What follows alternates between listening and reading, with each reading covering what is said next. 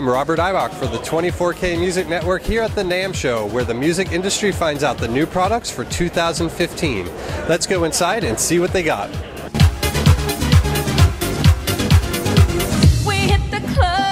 Now, this is the ninth version of Digital Performer. Can you tell me what's new in version 9? Well, we're just showing a preview today, so uh, there's still a lot more to, to build into the shipping version, I'd expect. But uh, a few things that we're focusing on is we're going to have multiple automation lanes that you can view in the sequence editor. So it's going to give you a great overview of the different the different automation types you're adding to a, an audio or a MIDI track. Uh, we'll have probably a good half dozen new plugins that'll emulate old school hardware uh, compressors and some synthesizers. Uh, so that's a lot of fun. And we'll definitely have a tighter uh, integration on, on MIDI learning for third party plugins and built in plugins. So uh, you should have much more control over really any of the instruments or plugins that you're loading and working on in your project. And when is uh, DP9 due for consumers? Uh, that I'm not sure. Uh, we are showing just a sneak preview right now, so uh, things are still in the works, and um, you know hopefully this will be a good year for MOTU. Now don't be shy. I'm here with Andy from Sony. So, Andy, tell me about the high res audio that Sony is coming out with this year. Well, High Res Audio Initiative at Sony is a very big deal. It's corporate wide, and effectively, we wanted to wake the world back up to what music, great high res recordings can do in terms of giving an emotional impact to you as a listener. I mean, if you think historically, way back to Thomas Edison, when he made the first kind of you know scratch and plastic recordings, um, you know, every time a new generation of product came out, it got better and better and better and better. And then you know, a few years ago, the world of MP3 kind of happened, and it's amazing because you can hold 10,000 songs in your pocket. But the development of audio quality can go way beyond that. So we have a high-res audio initiative. You know, music in a, in a, in a sense has the ability to reach inside of you, but it, it helps if you have all of the information to go in there and kind of touch your soul. I don't know, it's being a little dramatic, but that's what I believe.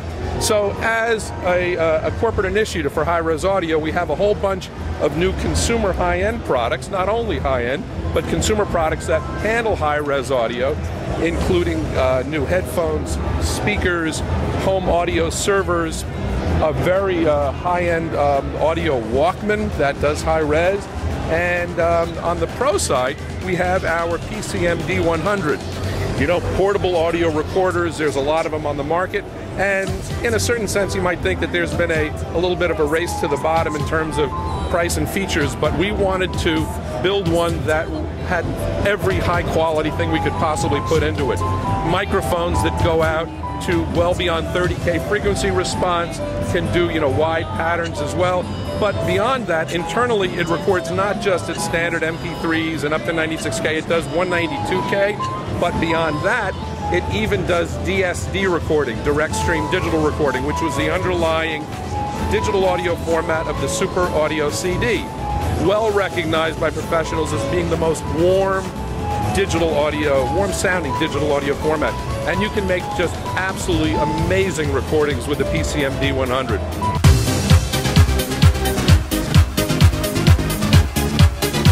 I'm here with Jordan from uh, Dream Theater. So, Yes, Jordan, right. tell me about Virgin Musical Instruments and your involvement with them. Um, well, I work with CME, and Virgin is one of the people that they work with. Um, I met Zhao, who is the uh, CEO of this company, a couple of years ago, and I knew that he was a very progressive-minded thinker in the music business. Because you know, I'm really into like cutting-edge instruments. I'm interested in how to move this music business forward in tools that let you express music in new and cool ways. And when I uh, was exposed to the X key, I thought, wow, this is really these people are really on it. The fact that it had real size keys, it was really very sensitive to my touch. I was like, I have to work with these people because I have so many ideas and they're already receptive and thinking in this kind of forward, positive manner. Now, do you like the the mobility of the X key, where it's really easy to travel with, and or do you like it more in the studio? Um, the X key actually fits into my bag, which is right behind you, and I, um, I take it everywhere. It's like, you know, I won't go anywhere without it because it's the coolest thing. And every keyboard player that I turn on to the X key is like, oh my god, I love this thing. I'm here with Chris from SE Electronics. So, Chris, um, I know that you guys and Rupert Neve Designs work together. Yes, we do. We do. There's a relationship between the two companies on a couple of different levels. Um, one, the same people that own and operate Rupert Neve Designs own a distribution company called Fingerprint Audio that distributes SE in the United States, in North and South America. The other is from a design perspective. Um, Sue, who's the owner of SE Electronics, and Rupert Neve have been friends for some time. And uh, they have worked together on a number of microphones over the years. There's the RNR1, which is a ribbon mic. There's the RN17, which is a small diaphragm condenser. Both of these kind of take each of their respective microphone types to a different level that hadn't really been dealt with or achieved before. The the RNR one's an active ribbon, but it has frequency response all the way up to 25 kilohertz, which is very, very, very unusual for a ribbon mic. Most of them have a lot of roll off in the in the teens, you know. Um, not so with the RNR one. So it sounds almost more like a really mellow condenser than it does like a ribbon. The, the mids and the lows are ribbony, the highs are, are almost condensery, um, which makes it really cool for, for horns and pianos. It's a very, very natural, smooth top end. The RN17 is that guy right over here tall, skinny one with a big fat transformer on the end. That's a Rupert Neve transformer on the back end. So it's a small diaphragm condenser, very, very small diaphragm. It's only 15 millimeter diaphragm, 17 mil capsule overall, with a full scale Neve transformer, Rupert Neve transformer on the output. So it's got a lot of low end, it's got a lot of guts, which most small diaphragm condensers don't have. They don't have guts.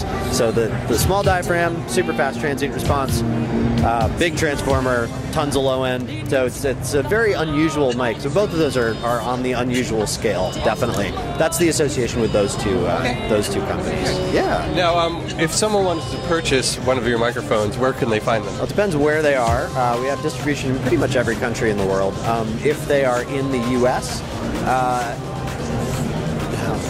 Sweetwater, Vintage King, Guitar Center, or any number of local retailers. I mean, those are just the big, you know, the big online ones, but they're all over the place. Um, if you go to seelectronics.com, you can see a list of, you know, how to get in touch with the distributor, list of dealers, all that kind of stuff. But they're all over the place. I mean, some dealers carry more of the, the low-end mics, the more affordable ones. Some carry only the high-end ones. So there's a range, all the way from the $2,000 ribbons down to $200 condensers. So, so there's something for everyone. I'm here with Ian from MXL. Uh, Ian, tell me about the new USB microphones that you guys have. Okay, uh, we have a full line of USB mics that are designed basically for plugging into a computer and being able to do recording through uh, either Logic or Pro Tools, uh, GarageBand. Uh, they're pretty affordable. They're just, they're about 75 bucks for one of these. Um, it's called the Tempo. Comes in different colors, so you can choose if you want, you know, the white or the gray or the black. Uh, really, actually, quite a good sound. I've used them for doing voiceover work and also for recording, tracking acoustic guitars. Yeah, they're really for the price. It's a pretty pretty staggering that they they sound so good. And I've noticed a lot of USB microphones are just 16-bit, but that's that's cool that you have the 24-bit. Yeah, this was one of the first 24-bit on the market. So yeah, it was uh, really popular. It's probably right around the 170, 180 dollar range. You can find them on Amazon and other uh, retailers. Uh, you know, they can people can go and look and see if there's any price points that are you know competitive or what the competitive price is in price. So what we have here is a line of, of a mobile media series, and it's basically designed for people that are on the go, mobile recording applications. You want to go to the beach, bring your iPad, write a song, work on material, go take a ride up in the mountains, or go on a camping trip. Bring your phone or your your iPhone or your iPad or uh, also Android devices. Um, plug plug these mics plug directly into the headphone jack so you don't have to take up the the charger. You can charge it while if you know if you're running low, you can you actually be charging your device while you're recording. Um, you get the Filmic Pro app. Uh, it's an app that's available through the App Store and for the iOS devices. Download that, and you can actually monitor if you're doing video and audio simultaneously. Let's say you're recording your band or something like that. You want to, the person recording the band wants to be able to actually, you know, re, uh, listen to what's being recorded. So you make sure your takes are, are right or the volumes are good. You get the app, and that works with the with, with these really well. Uh, you plug your headphones in, you can monitor. So yeah, all- they're all designed. Uh, the whole line's designed for mobile devices. So Perry, tell me about the mini mixer from MXL. Well, so this is actually the second generation mini mixer. Um, so much has changed in the market in the last two, three years that we decided we needed to address a lot of different needs for audio.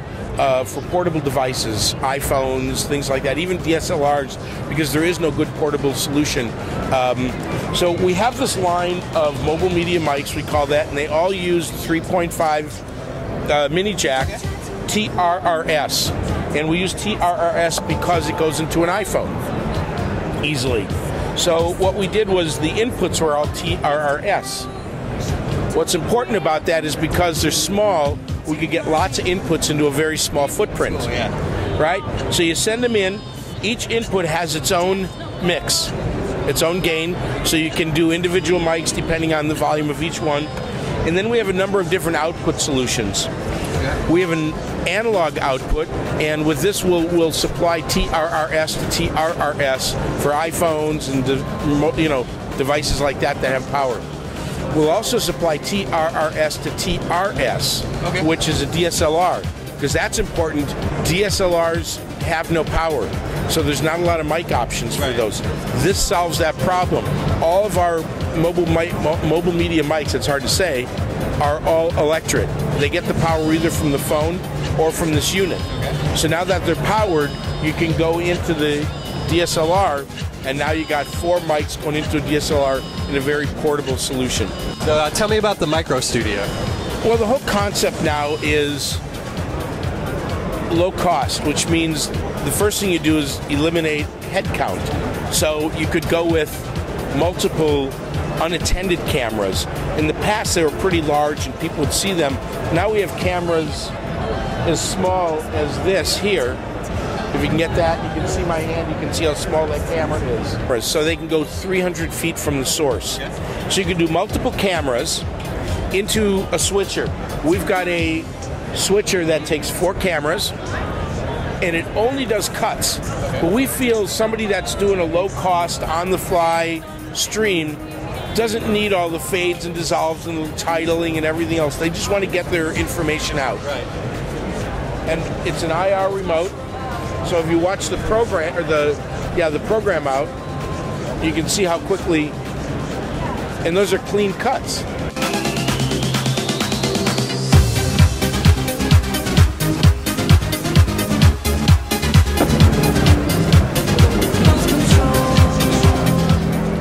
I'm here with Greg. Uh, Greg, tell me about the new Xone products you have. Okay, so um, the Xone DB2 and DB4 digital effects mixers from Allen Heath. Um, we've just announced at the show that they're now Serato DJ compatible and Serato DVS upgrade ready.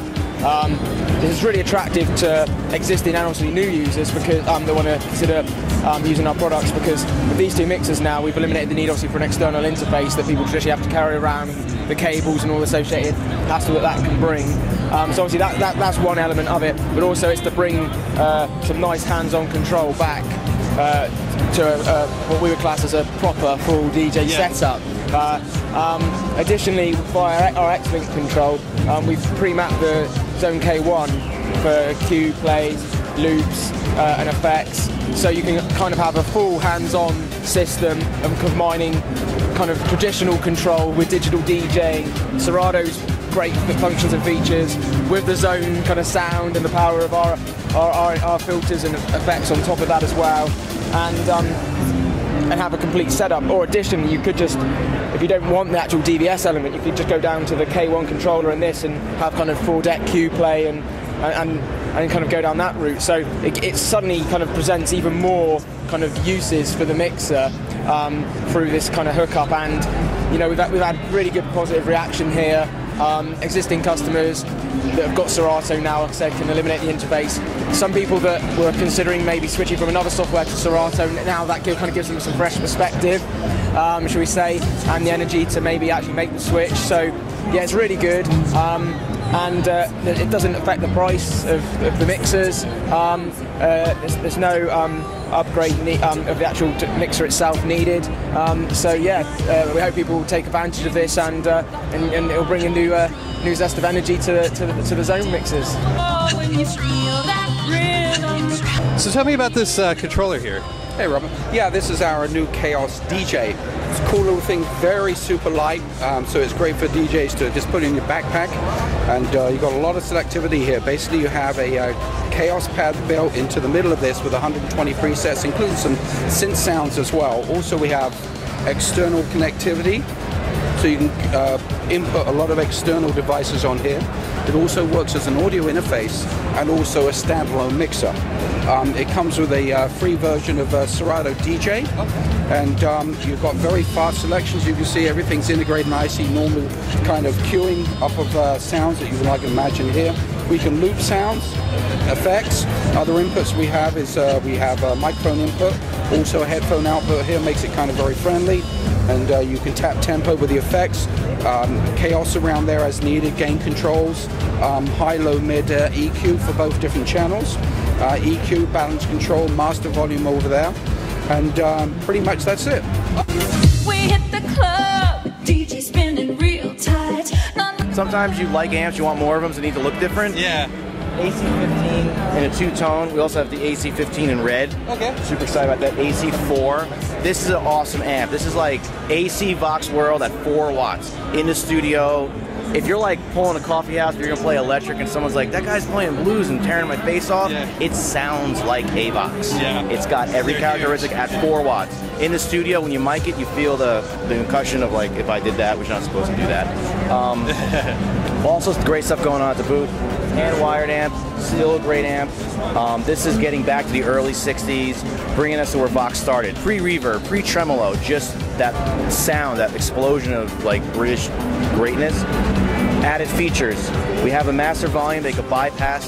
So if you want the old school turn up all the way, or use the master volume to manipulate the channels, like if you were jumping the amps back then.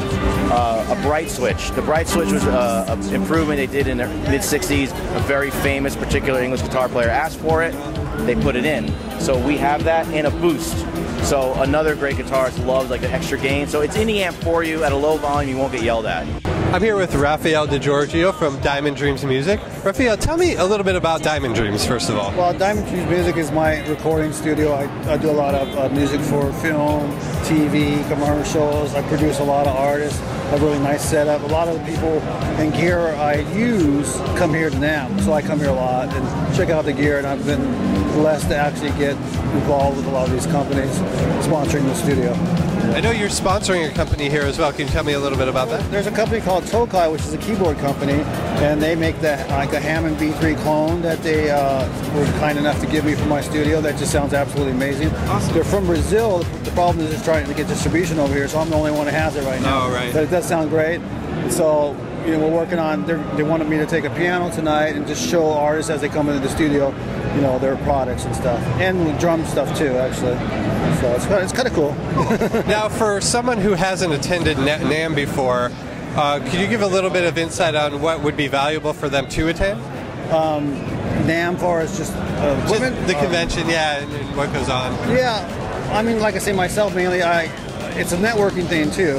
I, I've been blessed to uh, get a job with Kurzweil, Novation, Kawai, just by attending, um, telling them about my experience, hearing me play. I'm a keyboard, and uh, so that's been really nice, you know. And then also, you know, a lot of people come here every year that's in the industry, so you see a lot of people you haven't seen for a while, and it's just kind of a networking thing too. And then at night they have the concerts. Uh, last night they had Israel Houghton and stuff. It was really nice.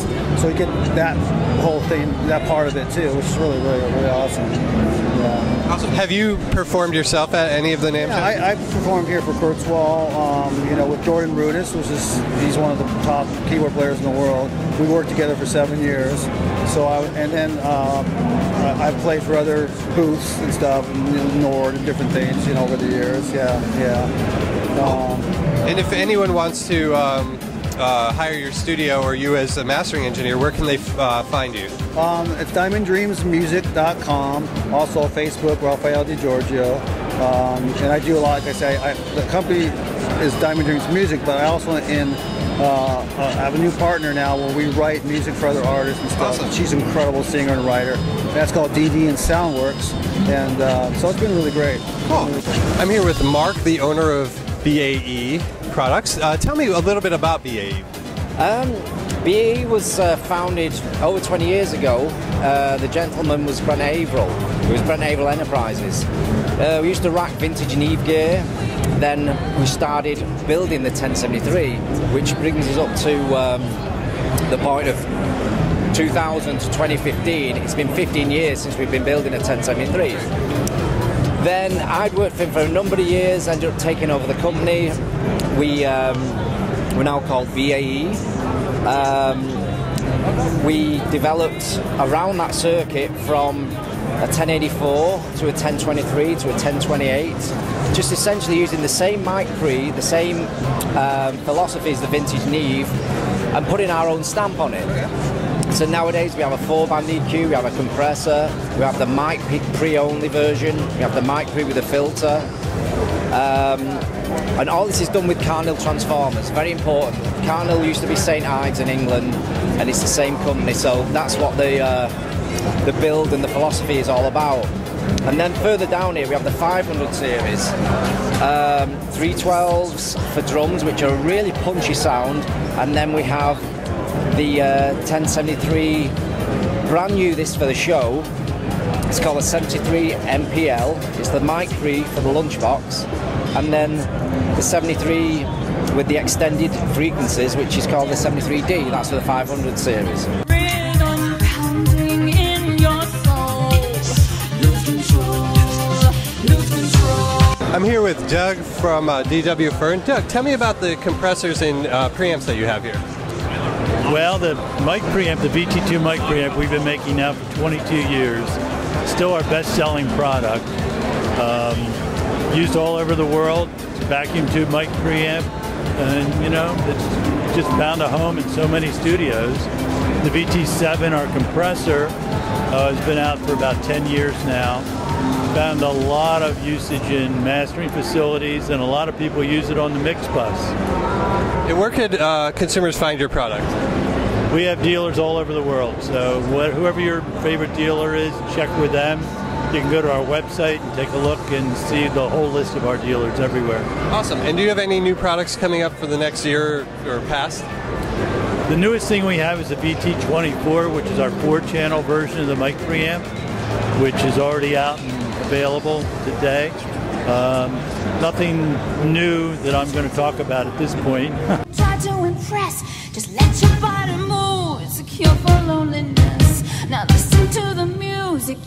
Well, we've had a great NAMM show here in 2015. We learned about a lot of new products, a lot of really cool things for consumers and pro audio specialists. I'm Robert Eibach for the 24K Music Network. We'll see you next time.